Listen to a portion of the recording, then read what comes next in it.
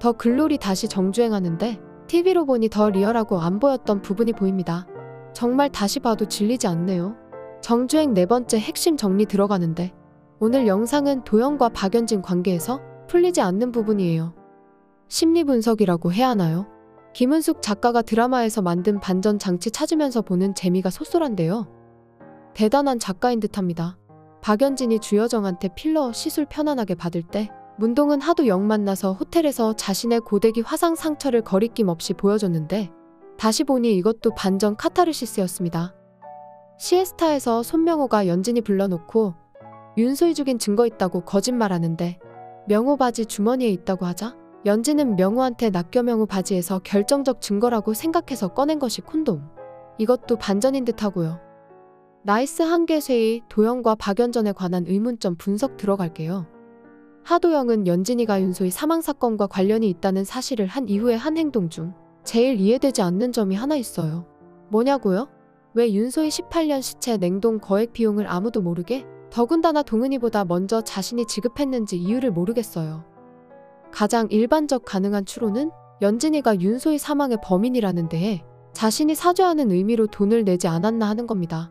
그러면 이게 맞는다면 연진이가 윤소희 범인이었다는 것을 하도 영은 확신했다는 내용이 되잖아요. 또 다른 하나는 냉동실에서 안치실로 옮길 경우 윤소희 사망 정황 모든 증거가 사라지는 상황이 될 수도 있는데 이럴 경우 하도영이가 연진의 증거인멸을 위해서 냉동 보관료 대납했다고 볼 수도 있을 듯해요.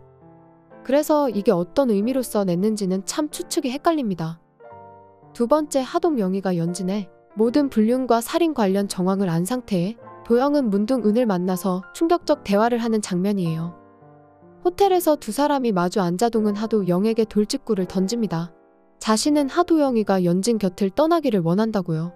그 이유는 하도영이가 연진에게서는 영광일 수 있기 때문이라고.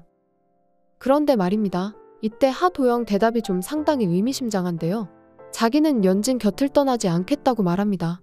이때까지는 몰랐는데 지금 그 얘기를 듣고 떠나지 않겠다고 말을 합니다.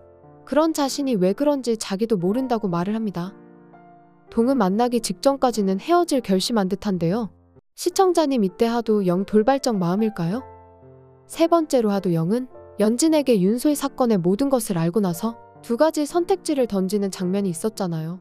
윤소희 범인임을 인정하고 사죄하든지 아니면 자신이랑 이혼하는 것 중 둘 중 하나 선택하라고 합니다. 뭐 이런 경우가 있나요? 이건 무조건 감방은 가야 되고 이혼도 당하는 선택의 여지가 없는 선택지인데 이때 만약 윤소희 사망 범인이라고 자수하면 도영은 연진과 이혼하지 않았을까요? 시청자님 생각이 궁금합니다. 그리고 마지막에 하도 영희는 전재준을 비극적 방법으로 생매장시키잖아요. 그러면서 예솔이랑 공항으로 가는 장면으로 끝을 맺습니다.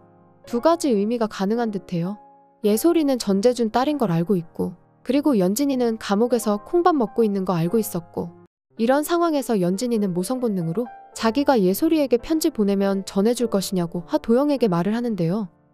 이 부분 좀 눈물이 살짝 났어요. 하지만 하도 영은 아무 대답은 하지 않았는데요.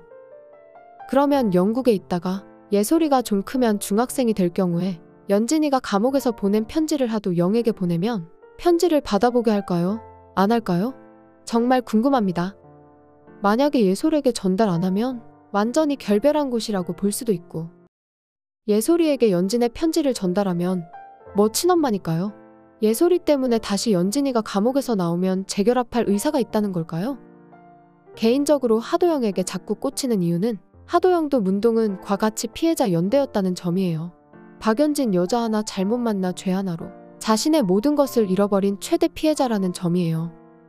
그리고 가정이 갖는 중요성에 대해 상당히 집착하는 일반적 한국 남성. 박연진과는 개념 자체가 다른 남자라는 점. 연진 살인행위에 대해 와이프일지라도 벌받아야 한다는 입장. 결국 문동은 백기사가 간접적으로 된 듯합니다. 구독, 좋아요. 잊으신 분 아시죠? 오늘 영상 시청 진심 감사드립니다.